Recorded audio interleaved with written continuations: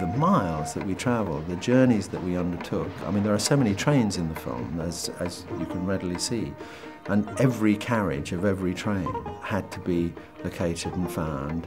You know, these were period trains. We, Gandhi arrived in India in 1918. This was um, a past and forgotten world, but uh, fortunately, the Indian Railway system is, is extraordinarily rich in, uh, in antique uh, locomotives and, and all the stuff that goes with it. Um, the problem is finding them.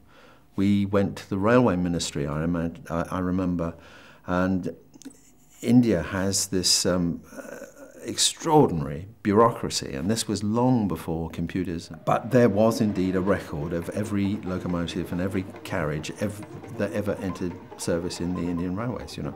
But it was all on paper, and uh, there were rooms and rooms and rooms of this stuff, and everyone had plans and elevations, drawings, and a written list of specifications. And supposedly, you know, this archive kind of knew where everything was. So we made up trains um, on paper in this office in the railway ministry and then set off on this enormous journey across India, India to find all these trains and carriages.